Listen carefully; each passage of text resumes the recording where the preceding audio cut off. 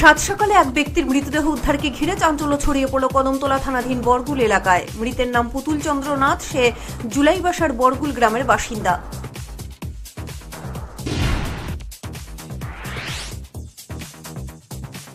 মঙ্গলবার সকালে এলাকারই এক মহিলা মন্দিরে আসার পথে মৃতদেহটি দেখতে পান, যথারীতি পুলিশ ঘটনাস্থলে গিয়ে পুতুলকে উদ্ধার করে হাসপাতালে নিয়ে যায়, কিন্তু চিকিৎসক তাকে মৃত বলে ঘোষণা করেন।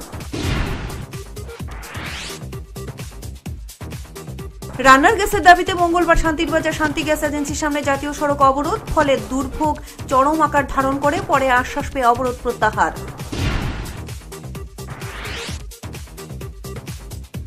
সিবিটি নাইনটিল এলাকা থেকে মাদক বিরোধী আইনে ধৃত তিন নেশা কারবারিকে চার দিন রিমান্ডের পর ফের আদালতে তোলা হয় মঙ্গলবার। এদিন ধৃতদের মেডিকেল পরীক্ষার পর পাঠানো হয় আদালতে।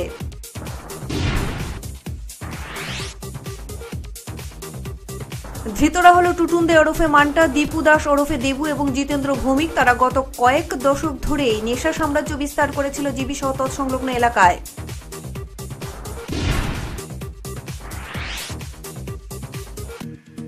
স্বাস্থ্যমন্ত্রী সুদীপ রায় বর্মনের সাথে দেখা করলেন মহারাজ প্রদ্যুৎ কিশোর মানিক্য বাহাদুর আর এ নিয়ে জল্পনা রাজনৈতিক বিশেষজ্ঞ মহলে।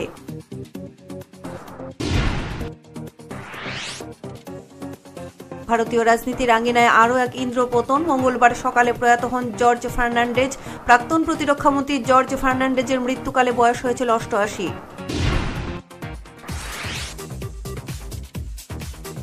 রাজধানীতে ধৃত কুকুর পাচার চক্রের চাই মঙ্গলবার কাক ভরে পূর্ব থানার টহলরত পুলিশের হাতে ধরা পড়ে মিজোরামের দুই কুকুর পাচারকারী।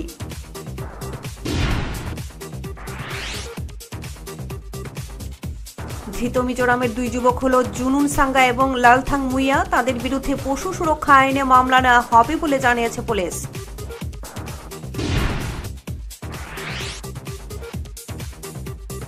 মাদক বিরোধী অভিযানে ফের সাফল্য পেল পুলিশ। সোমবার রাতে এনসিসি থানার পুলিশের অভিযানে ধরা পড়ল দুই ড্রাগস কারবারি। তাদের কাছ থেকে ব্রাউন সুগার ভর্তি নব্বইটি কৌটা উদ্ধার করতে সক্ষম হয় পুলিশ।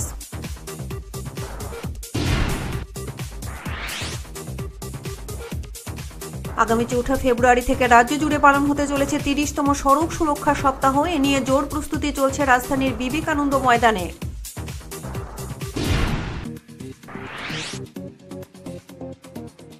সাংসদ জিতেন্দ্র চৌধুরীর সাংসদ উন্নয়ন তহবিলের অর্থে কৈলাসহর পাইতুর বাজারে চৌত্রিশ লক্ষ টাকা ব্যয়ে একটি কমিউনিটি সেন্টার নির্মাণের কাজ বরাদ্দ করা হয়। এই ভবনের শিলান্যাস করেন সাংসদ জিতেন্দ্র চৌধুরী। লোকসভা নির্বাচনের আগে ঘুরে দাঁড়াবার মরিয়া চেষ্টা চালাচ্ছে বিরোধী দল সিপিএম। বর্তমানে রাজ্য সরকারের বিরুদ্ধে বিভিন্ন অভিযোগ তুলে একের পর এক আন্দোলন গড়ে তোলার চেষ্টা চালাচ্ছে।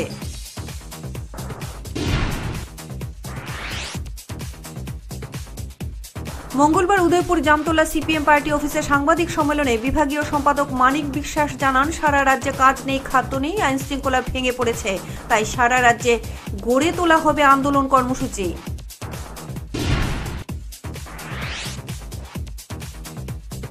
ধর্মনগর টাউন হলে একত্রিশে জানুয়ারি থেকে উত্তর জেলার শিক্ষা দপ্তরের কিশোরী উৎকর্ষ মঞ্চ অনুষ্ঠান নিয়ে এক সাংবাদিক সম্মেলনের আয়োজন করা হয়। উপস্থিত ছিলেন বিশ্ববন্ধু সেন।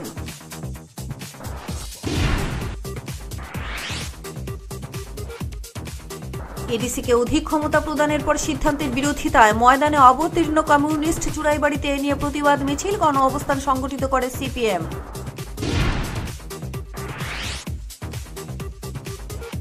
এডিসির হাতে অধিক ক্ষমতা প্রদানের পর প্রধানমন্ত্রী এবং রাজ্যের মুখ্যমন্ত্রী বিপ্লব কুমার দেবকে ধন্যবাদ জানালেন রাইমা ভ্যালি জনজাতি মোর্চার কর্মী সমর্থকেরা। কমিটির উদ্যোগে গন্ডাছড়ার বিভিন্ন এলাকায় শোভাযাত্রার আয়োজন।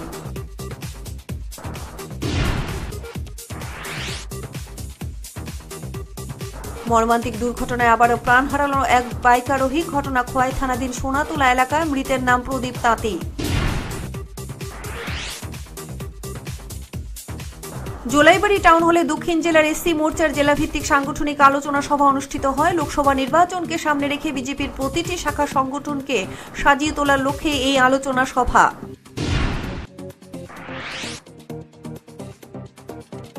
আনন্দঘন অনুষ্ঠানের মধ্যে দিয়ে শুরু হলো মহকুমা ভিত্তিক শিশু উৎসব। অমরপুর নগর পঞ্চায়েত ও তথ্য সংস্কৃতি দপ্তরের তত্ত্বাবধানে স্থানীয় স্টার ক্লাব প্রাঙ্গণে শুরু হয় এই উৎসব।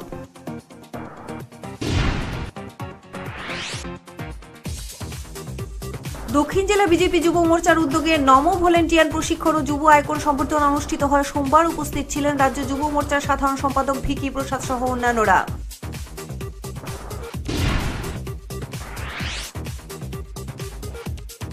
অনাথ শিশুদের মধ্যে শীত বস্ত্র বিতরণ করে সামাজিক দায়বদ্ধতার পরিচয় দিলেন উদয়পুর ছাতারিয়া এলাকার জালাল মিয়া নামে এক ব্যক্তি ঘ্রান্তলি মাদ্রাসা এবং উষামরা মাদ্রাসায় দুশোটি কম্বল বিতরণ করেন তিনি।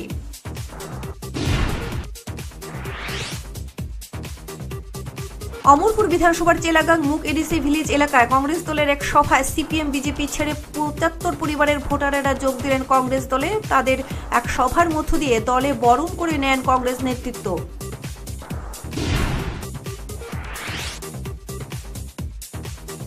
রাজধানীর আশা নার্সিং হোম আয়োজিত স্বেচ্ছা রক্তদান শিবির এবং ইউরোলজি ইউনিটের শুভ উদ্বোধন হয় মঙ্গলবার। এই উপলক্ষে আয়োজিত অনুষ্ঠানের উদ্বোধক হিসেবে উপস্থিত ছিলেন স্বাস্থ্যমন্ত্রী সুদীপ রায় বর্মন সরাসরি মমতা বন্দ্যোপাধ্যায় পরিচালিত রাজ্য সরকারকে কাঠগড়ায় তুলল সিবিআই। রাজ্য সরকারের কারণেই সারদা সহ অন্যান্য চিটফান্ড মামলার তদন্ত গতি পাচ্ছে না বলে অভিযোগ করলেন এক সিবিআই কর্তা।